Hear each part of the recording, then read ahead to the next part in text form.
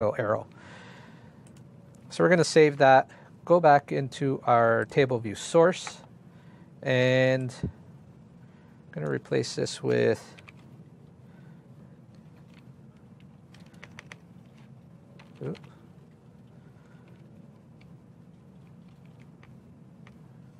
number four, get cells. So basically here what we're doing is we're setting the detail text label and we're just formatting the latitude and longitude right here. So now if we run it again,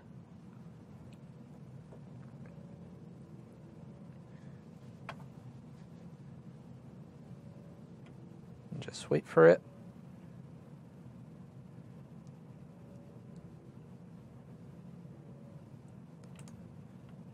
You'll see the changes pop up there. All right, great. So that gives me more information about each of those individual properties. Exactly. So now the next step is we want to um, uh, we want to see the details, and we will figure out how to do that. So we quickly, uh, you know, created a UI table view. We we uh, showed some data, created a custom, but now we need to uh, navigate using the storyboards. So storyboards has something called segues. And in there, what, what you're going to do is you're going to set the segues on how everything navigates from end to end. So you're going to have a navigation view controller that's going to have our table view as our root view, and then it's going to go into a uh, details view. So now we'll just switch back and start doing that. So I'm just going to close all these Actually, go back to the storyboard. I'm going to zoom out so you can see. And I am going to take a navigation controller and I'm going to drag it out here. So you notice the navigation controller comes out with two uh, two little screens. One is the navigation controller, and then the other one is the controller that's going to be pushed into the navigation controller.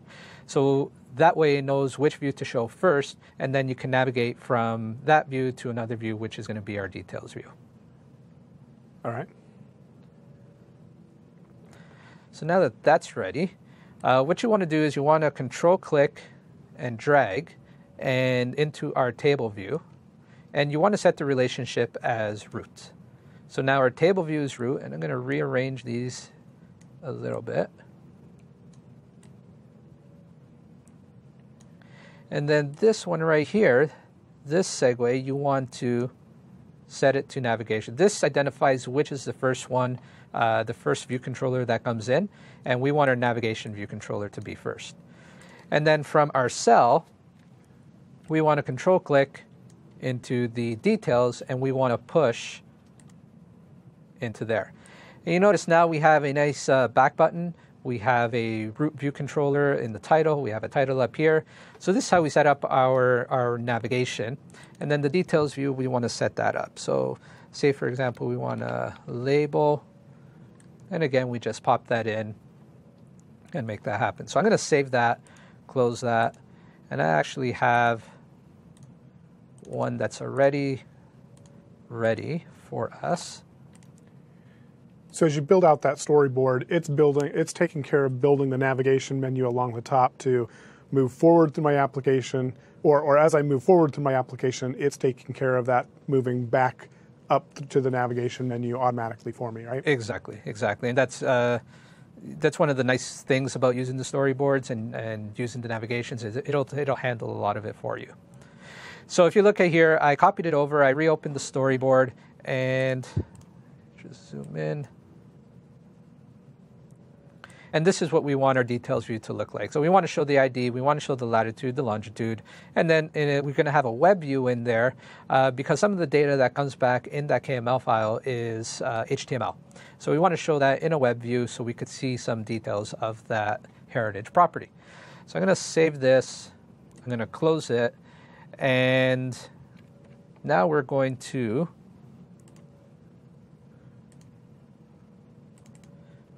go back into storyboard because we need to set a few properties.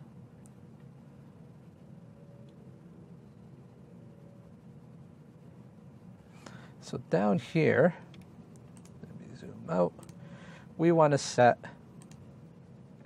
the identifier. So we want to set this to segue details.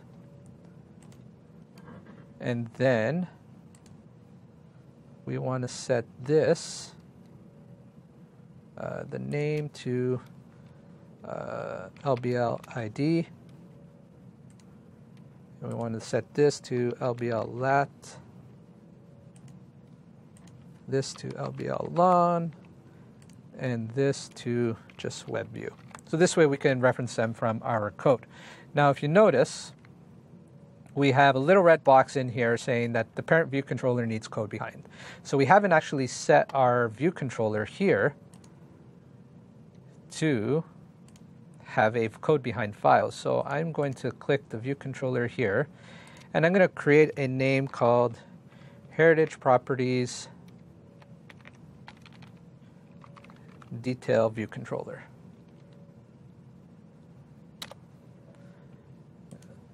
Hit enter. So that's wiring it up to the code behind class that, that's going to fill this particular view? Exactly, exactly. And if you notice here, we now have a heritage properties detail view controller and the designer code is all wired up internally now.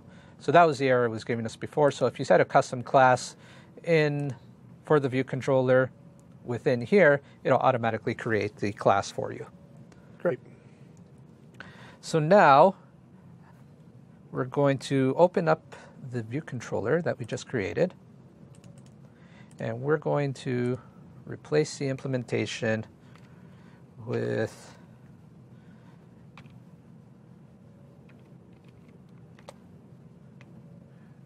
one.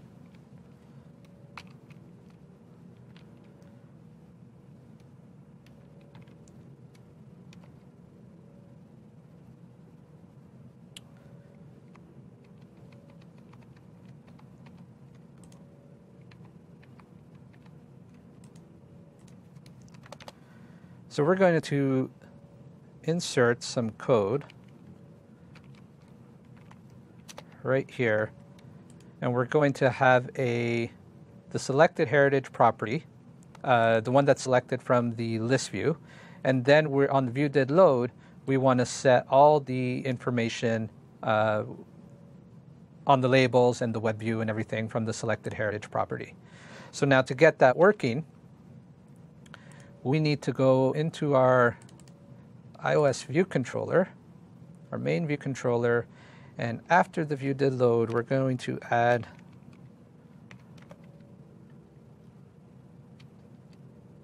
this here.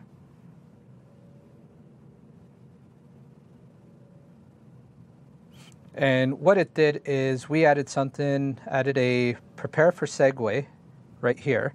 And this is why we've set up the, uh, if you remember in the storyboard, we set the segue details.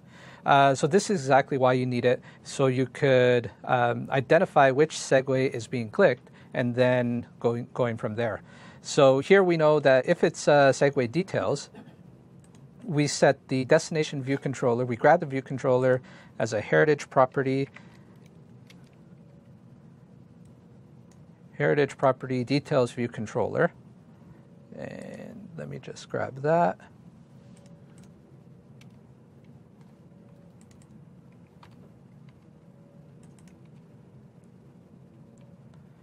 And then from there, we set the we grab the item that is selected.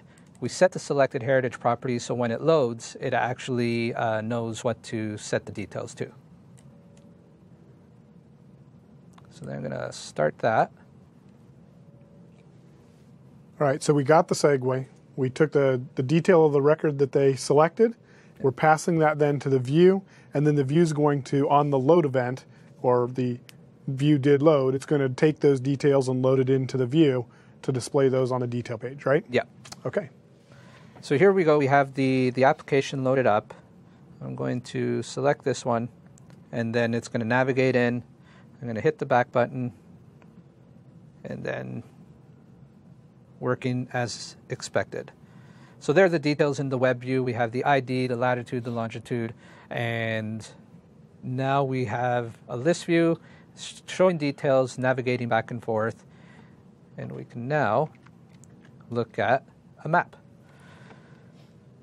So essentially, uh, with a map, it's fairly easy to use MapKit within iOS. So you have uh, your map kits, and there's uh, two ways to set up maps. So you could do a map uh, within your application, or you could go outside to the native map, uh, the native map application. So ideally, you would want to do a native uh, map, or you want to do the embed the map within your application. And then to do a map, it's as simple as uh, MK, uh, newing up a new MK map view and then setting the view of your con- uh, UI view controller to the map and then you get a map displayed on your uh, device. So you have different types of maps. You have standard, satellite, hybrid. So it's similar to Bing Maps uh, if you've used that on Windows Phone. And then to add an annotation, and an annotation is pretty much the same thing as a pushpin. Um, so you do uh, add annotation, MK point annotation, set the title, and set the coordinate of it to tell it where to place. So now let's switch back over to the demo and actually write out some code to get this going. So the first thing uh, we're going to want to do is we're going to want to copy some files over from the resources. So I'm just going to copy this in. It's going to ask me to overwrite. Uh, so essentially, we're copying these pins and this list so we could uh, switch views. And then we want to make sure they are bundled resource, uh, which they are. So Xamarin automatically sets it to it. And we're going to go back into our storyboard. And we're going to add a button, a bar button item into our navigation bar. So we're going to do the, the set the image. We're going to set the image to pin. And I'm going to get rid of this text. So now we have a button up there, and we're going to name the button btn map list. We're going to save that, and we're going to go back to our main view controller. So now that that is ready. So we're going to add some member variables. So for the list, the, the map and the list, if, uh, it's just a boolean to see if it's, um, if it's visible. We're going to add a using statement here.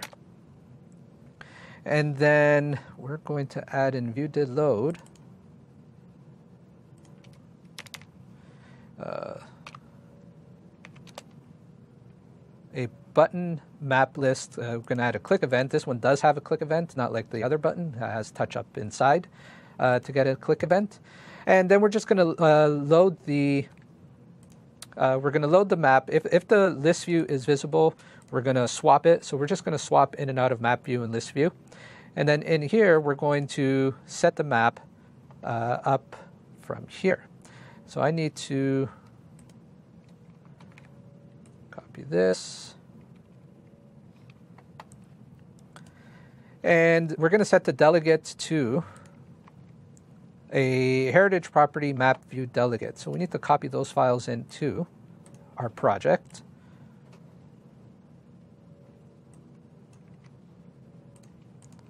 And we also have a annotation. So these are custom classes that we have in here. A custom annotation, basically we have this so we can um, put a push pin, but we can associate a heritage property to it. And then heritage property map view delegate. So this one here is where we get the information on uh, when the push pin is clicked, we want to tap on that. When it's tapped, we want to get notified. And we have to get the view for the annotation. So this is the code that does it here. Uh, we want to show the pin. Uh, we want to make sure we dequeue it uh, from right here. And if it's not dequeued, we want to just create a new one. And this, again, is for memory optimization.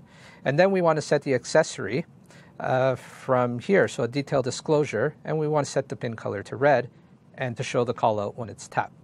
When the callout is, uh, when it's tapped, uh, then we want to set a notification uh, to our action right here. So now we need to set this up in our iOS view controller. So now in here, in the view did load, we have that and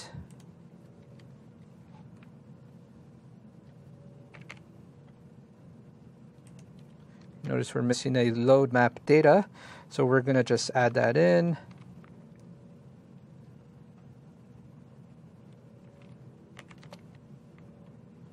And this is what's actually going to load our data inside the map. So I'm just going to set some using statements here. And then what's going to do, what it's going to do, it's going to loop through all the items. And then we have some code in here to actually zoom in on the annotations.